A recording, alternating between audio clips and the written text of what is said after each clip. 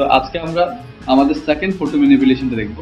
গত ম্যানিপুলেশন আমরা দেখেছিলাম একটা অ্যাস্ট্রোনট একটা স্পেস আর একটা মিল্কওয়ে ওগুলো দিয়ে কীভাবে একটা সাইফাই মুভির জন্য কি করতে হয়। একটা ম্যানিপুলেশন কীভাবে করতে হয় ডিজাইন কীভাবে করতে হয়। আজকেরটা কোনো টপিক দিব না যে এটার জন্য, ওটার জন্য। আজকেরটা বললাম যে জাস্ট টেকনিক্স হ্যাঁ সিম্পল ম্যানিপুলেশন তো আজকে আমরা যেটা করব, একটা থিমে কাজ করব। কীরকম থিম এই যে করোনা চলতেছে? তো আমরা যে কোথাও প্রোটেক্টেড নয় যে বাসায় বলেন রোডে বলেন, খাইতে গেলাম, কোথাও আমরা প্রোটেক্টেড নেই জিনিসগুলো। আমরা যে প্রোটেক্টেড নেই, আমরা যে একটা রিস্কের মধ্যে আছি, এই জিনিসটার ভাইবটা তুলে দেওয়ার জন্য আমরা ডিফারেন্টলি একটা ফটো ম্যানিপুলেশনের মাধ্যমে জিনিসটা তুলে ধরি সো আজকের অ্যাসেটগুলো যদি ঠিকমতো দেখেন আপনি, তাহলে এখানে দেখবেন যে কিছু ফিউ কি পিকচার্স আমরা এখানে দেখতে পাচ্ছি। সো প্ল্যানটা হচ্ছে এটা যে আমাদের কাছে একটা আকাশের উপর একটা হরাইজন দেখা যাবে? ওই হরাইজনের মধ্যে একটা ছোট্ট দিক থাকবে। ঠিক আছে? এই দ্বীপের মধ্যে ছোট একটা ঘর থাকবে, ঘরের সামনে একটা মানুষ থাকবে। আর ঘরের পিছনে একটা গাছ থাকবে ছোটখাটো একটা দ্বীপ, একটা মানুষ, কিছু গাছ, সুন্দর একটা পরিবেশ। কিন্তু ওই যে আইল্যান্ড ওখানে যে একজন মানুষ, তাকে আমরা এই জিনিসটা দিয়ে কি করব? ঢেকে দিব। এটা কি দেখতে পাচ্ছি? একটা বল দেখতে পাচ্ছি না? এটাকে আমরা কনভার্ট করব কিসে? ওই যে আমরা যখন হাত ধুই, একটা বাবলের ফেনা বের হয় না? শাইনি একটা ছোট ছোট ফু দিলে ফেনা বের হয় না? ওরকম একটা বাবলে কি করব সো সিম্পল ট্রিক চলেন, ঘুরতে করতে জিনিসটা বুঝে যাবেন যে কি করতে হবে।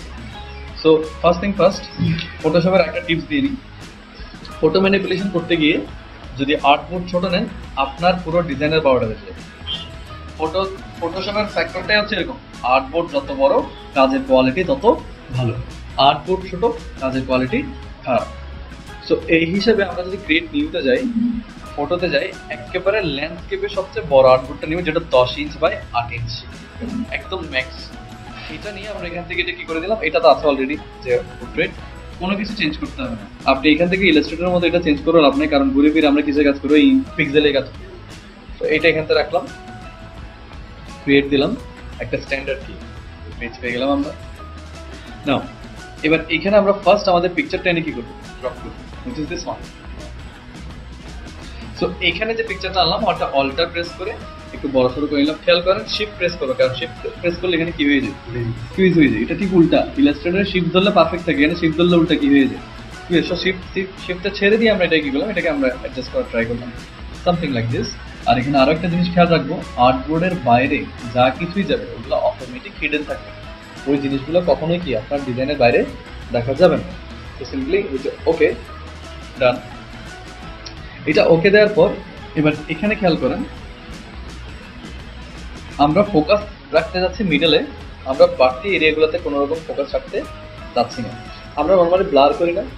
আজকে একটা ব্লারিং এর একটু ডিফারেন্ট টেকনিক ছিল। কীরকম ডিফারেন্ট টেকনিক আপনি যে কোনো একটা ছবিতে যে কোনো একটা পয়েন্টের কতটুকু ব্লার হবে, এটা কি করতে হবে? কন্ট্রোল করতে হবে। তো এটা এখানে নয়, আমি এটা ফ্রেশ পিকচারের জিনিসটা বুঝে। লেটস সে দিস ওয়ান এই যে পিকচার আমরা চাচ্ছি যে এটার কোন একটা কন্টেন্ট ব্লার হবে। আচ্ছা এটা বাদ দিয়ে এখানে অলরেডি ব্লার আছে।